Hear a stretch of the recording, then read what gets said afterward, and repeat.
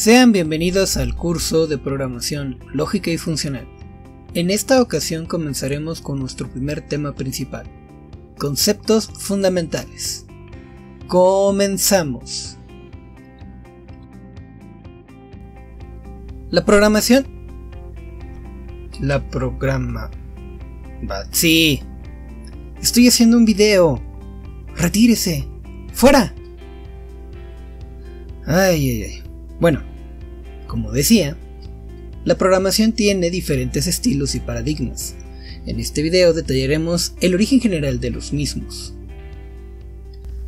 Para comprender lo anterior tenemos que viajar a una época donde no existían las ciencias de la computación hasta 1930. En esta década, muchos matemáticos, y sí, digo matemáticos, puesto que en aquel entonces lo más cercano a la computación era algo llamada la metamatemática, se quebraban la cabeza con un problema muy específico. El problema llamado Endscheid.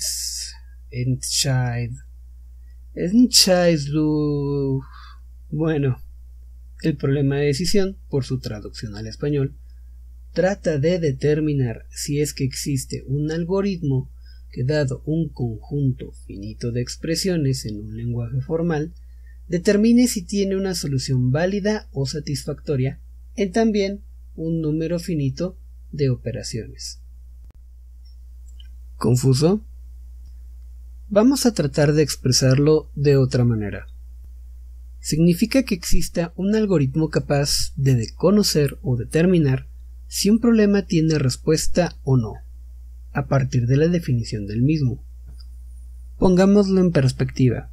Si pudiésemos conocer qué problemas tienen respuesta o no antes de resolverlos, nos ahorraríamos muchísimos inconvenientes. Varias soluciones aparecieron en dicha década. Sin embargo, dos fueron las más aceptadas, las máquinas de Turing y el cálculo lambda formuladas por Alan Turing y Alonso Church respectivamente.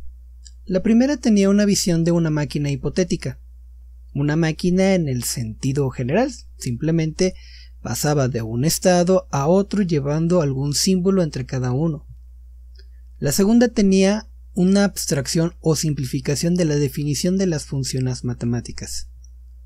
Como dato adicional, Turing fue alumno de Church y a pesar de este hecho ambos crearon estas soluciones que tienen enfoques completamente distintos.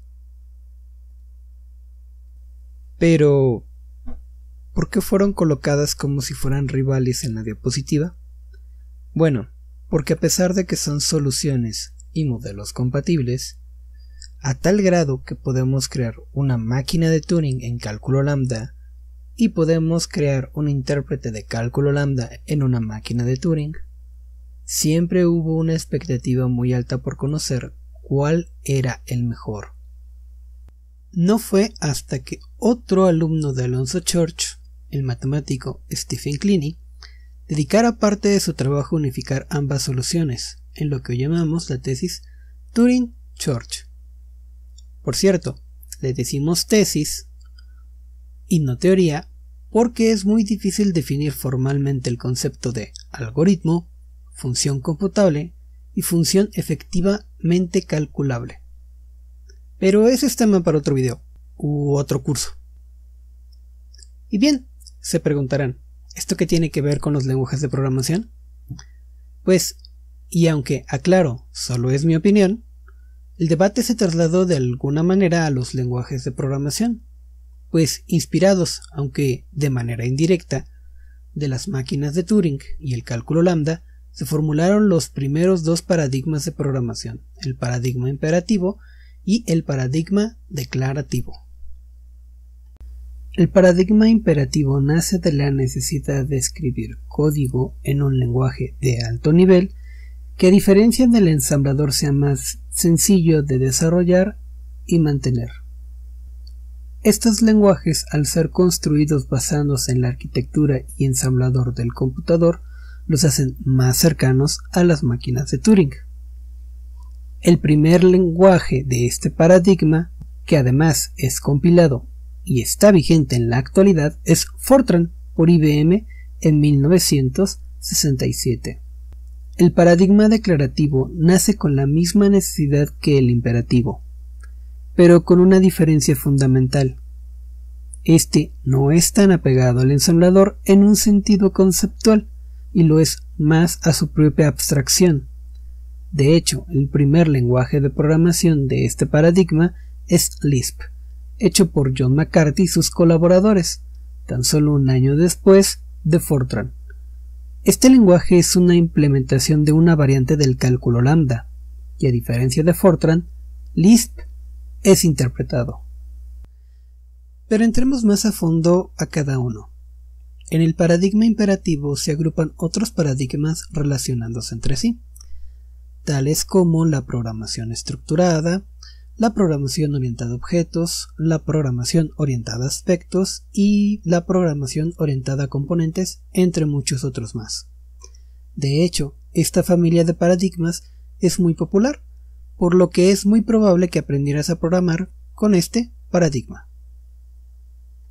Del mismo modo, en el paradigma declarativo agrupa a otros paradigmas, tales como la programación lógica, la programación funcional y la programación de datos estructurados. Aunque estos estilos de programación no han sido tan populares como los imperativos, tienen diversas características y ventajas en ciertas aplicaciones, principalmente aquellas relacionadas con la inteligencia artificial, agentes inteligentes, procesamiento del lenguaje natural, entre muchas otras más. En este momento podrías pensar, bueno, bueno, si me enseñaron el paradigma imperativo es porque es el mejor. No. Y si no es así, ¿por qué no me enseñaron el paradigma declarativo? Cierto es que el paradigma imperativo es el más extendido, pero no necesariamente el mejor. Aunque, personalmente, creo que el paradigma imperativo sí es un poquito más fácil de aprender. No obstante, ambos pueden realizar el mismo trabajo. Todos los estilos de programación tienen ventajas y desventajas. Es el programador el que decide, a base de su experiencia y criterio, cuál es el más adecuado para resolver una problemática. Lo mejor que puede hacer un programador profesional es aprender varios estilos de programación para obtener un criterio más profundo y más amplio, que sea selectivo a la hora de realizar su propio trabajo. Hasta aquí el video.